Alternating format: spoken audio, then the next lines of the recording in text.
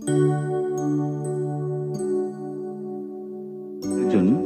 मनुष्य को मय के घमंड की मदिरा पिलाकर मधोश करने वाला पाखंडी केवल मन है।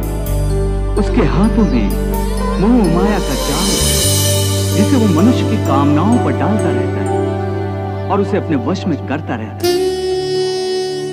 ये मन शरीर से भी मोह करता है, अपनी खुशियों से भी मोह करता है और अपने दुखों से भी। खुशियों में खुशियों से भरे गीत गाता है। तो दुख में दुख भरे गीत गुनगुनाता है। अपने दुख में दूसरों को शामिल करके उसे खुशी होती है।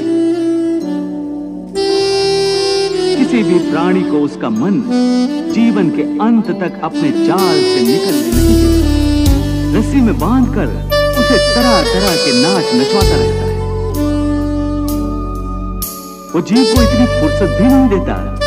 कि वो अपने अंतर में झाँक कर अपनी आत्मा को पहचाने और आत्मा के अंदर जिस परमात्मा का प्रकाश है, उस परमात्मा का साक्षात्कार करे।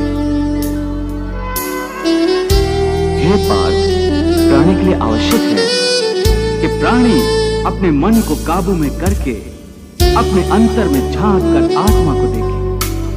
तब उस आत्मा के अंदर उसे परमात्मा का प्रकाश स्पष्ट साक्षात्कार कहते हैं तुम तो कहते हो कि अपने अंतर में झाँक कर आत्मा को और उस आत्मा में प्रकाशित परमात्मा को पहचाने। अर्थात आत्मा से अलग कोई और है जो आत्मा को पहचानेगा। ये किसको कह रहे हो कि आत्मा को पहचाना कौन पहचानेगा अंतर की आत्मा? तुम्हारा मन मन? हाँ तुम्हारा मन परंतु तुम तो कहते हो कि मन माया के भ्रमजाल में फंसा कर प्राणी को बहुत नाचना चाहता है। फिर वो आत्मा और परमात्मा क्यों क्यों ले जाएगा?